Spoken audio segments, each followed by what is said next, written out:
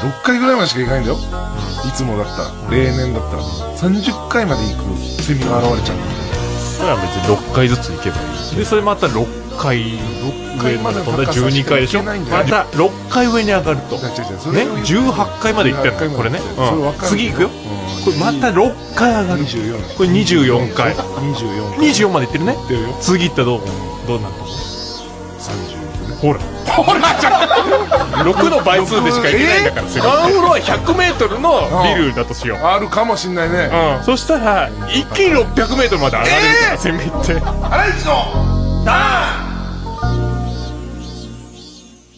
先週、私がその深夜仕事に向かう道中ね、い、ろいろあった話をしたんですけど、ん。迷路みたいな工事現場入ったり、はい。前、なんか深夜カップル、前に歩いてるカップルうのん。彼氏がいきなり逃げろっつって、うん。なんか彼女が、ああみたいな。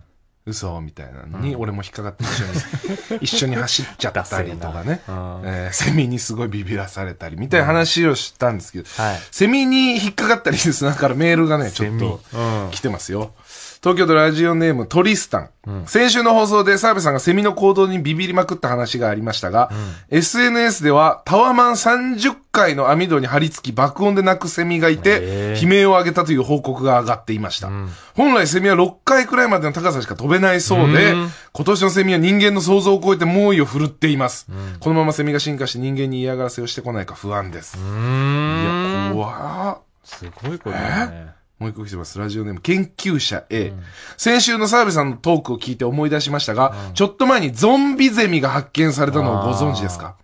病原菌に心と体を操られ、下半身が消滅しても活動を続けていたそうです。そうたかがセミと舐めずに、澤部さんくらい過剰にビビる方が安全かもしれません。いや、これ流行ったんだよいや、これ知らなかった。流行ったっていうかいつ？もういっぱい発生してたんだよねゾンビゼミ？うん、なんか規制さ、規制されて、もう内臓とか全部落ちてんのに、怖っ生かされてんの。怖っうん。怖いよ。怖っうん。え？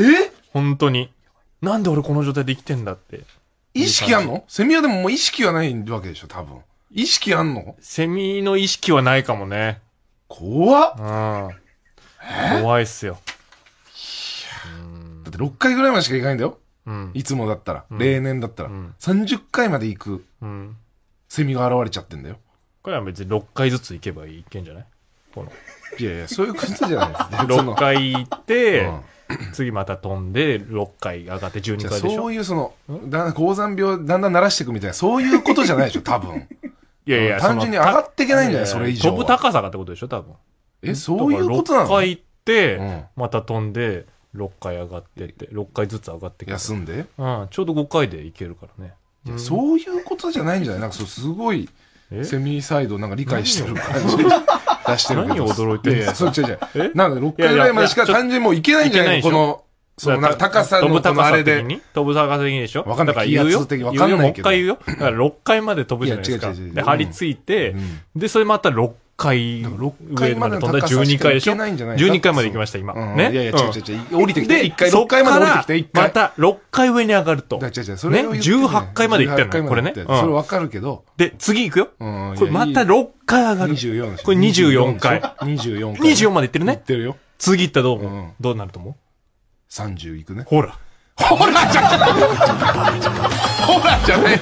休みながら行ったの？6回まで行くっしょ？それを、それはもういいからで、。そこで張り付くじゃん。それを、その理論納得してないんで、別そのに。後また6回上がったら12 6回回までの高さしか行けないんじゃない？もうその体の作り上。だから休むとかじゃなくて。のターンここで 24回にずーっと話してたの？行ったわけでしょ？ずっと話してたんだっけ？で、こっからいや、違う違う。6上がるといいよ。30なんだよ。それを、そういうことじゃないんじゃないって言ってんだから。そういうことじゃないってどういうこと？多分6回までの高さしか行けないんじゃないの？その、だから6回しか、うん。までしか飛べないってことでしょ？6回まで、6回の高さまでしかもうそれ以上上に行くでしょ？行けないんじゃない6回体での作り上。ペタってなるでしょ？そしたら、そのまままた6回上がれば、じゃあ12何ずっと行けんの？え？宇宙まで行けんの？セミナーじゃ タワーがあればずっと行けんの？タワーがないじゃん。ね？いやいや、タワーない。タワーがないとセミも行けないから。それ、あったらいけんの？セミが行くには、タワーを作んなきゃいけない。と、セットなの？セミそうよって。うん知らねえけど。うん。いや、いいんですよ、その話は。別に。だから、6万、うん。6万、例えばじゃあ、6万5回まであったとするよ。うん。そしたら、6万回までしか上がれないからね。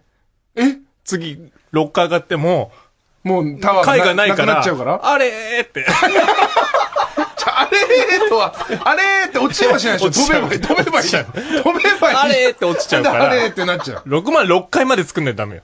6の倍数でしかいけないんだから、セミって。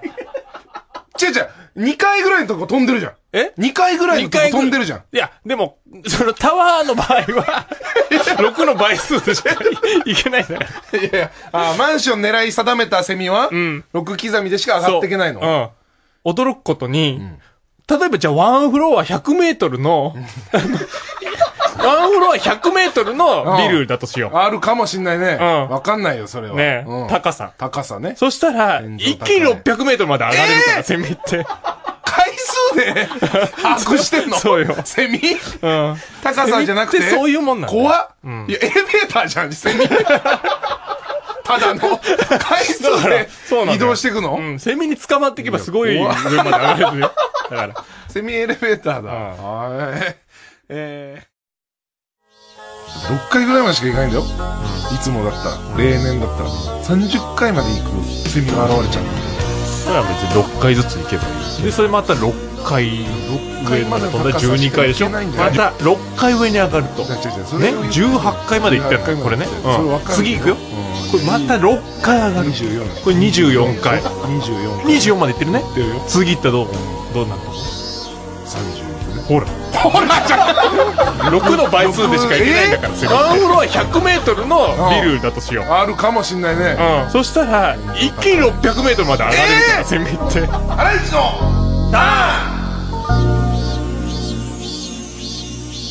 はい、一の岩井ゆきです。さてです。えーこの時間 TBS ラジオから全国14局のってハライチのターンをお送りしております。この番組って秘密基地で収録してたっけ？っと夏休み感があね、ーすごかったですね、本当にね夏夏が終わったね。ちょうど先週終わったんですよ、我々。思い出が読み出されたねお。前知ってっか？セミってな、6回ずつ上がる嘘だよ、岩井くん。夏休みでしたね。いいですね。